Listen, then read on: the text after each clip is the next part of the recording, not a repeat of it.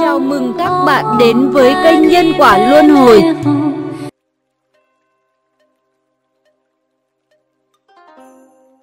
Đại Phật đảnh thủ lăng nghiêm đeo trên người dịch bệnh sẽ lánh xa.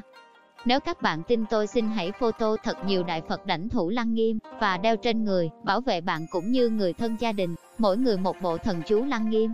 Virus gây bệnh sẽ không thể đến gần bạn. Quỷ gây dịch bệnh sẽ không đến gần bạn được.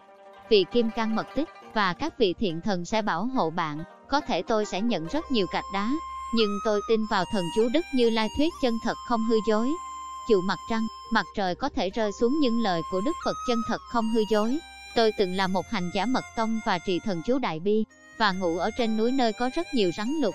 Nửa đêm thức giấc trở mình, trong tâm thức rõ ràng thấy một vị thần tướng to lớn tay cầm kiếm đứng phía sau lưng, bảo vệ tôi thân tướng ngài vô cùng uy nghiêm, như trong kinh Đại Bi nói có thiên tướng, hộ pháp theo bảo vệ như bảo vệ trong con mắt.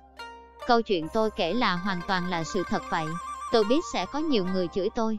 Đương nhiên tôi chấp nhận, vì đơn giản tôi chỉ là người chân thành có tâm. Nếu bạn tin tôi xin hãy photo Đại Phật đảnh thủ lăng nghiêm và đeo trên người. Bạn sẽ thấy oai thần của thần chú âm thầm khiến tâm và ý của bạn dần trở nên từ bi hơn, mát mẻ hơn, thân và tâm đều sẽ tốt đẹp dần, vô cùng lợi ích. Uy lực của Lăng Nghiêm sẽ bảo vệ bạn khỏi chướng khí và quỷ thần xấu ác sẽ không dám đến gần bạn. Trái cây Di Đà chân thành chia sẻ.